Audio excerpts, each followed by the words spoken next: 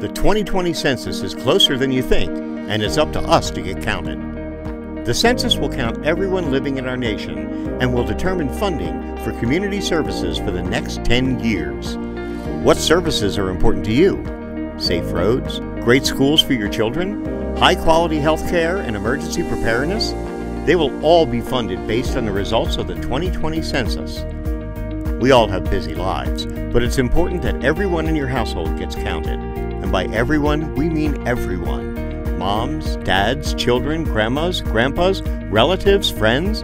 They all count if they live in your household. And participating in the census has never been easier.